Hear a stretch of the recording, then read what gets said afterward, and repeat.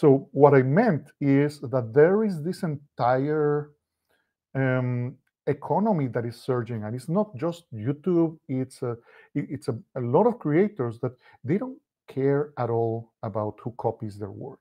For them, actually, copyright tends to be a little bit more of an annoyance that uh, their video is going to be demonetized, let's say on YouTube.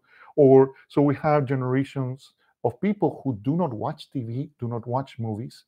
Um, I, I, have been watching some streams, um, for example, Twitch streams, where people are saying, I haven't seen a, a TV program in, in years.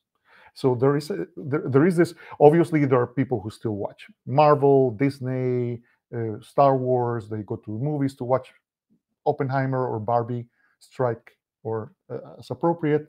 But there is also a very sizable economy growing that does not rely at, at all on this.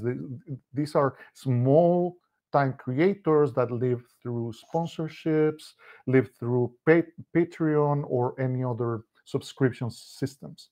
So it is quite interesting that we're starting to see this, and it's been a while around for a while, but AI is actually making it easier for these small time creators to create quality content. So it's going to be animations, it could be potentially music, it's going to be all sorts of things. Um, so what we're starting to see is enabling more creators to do stuff.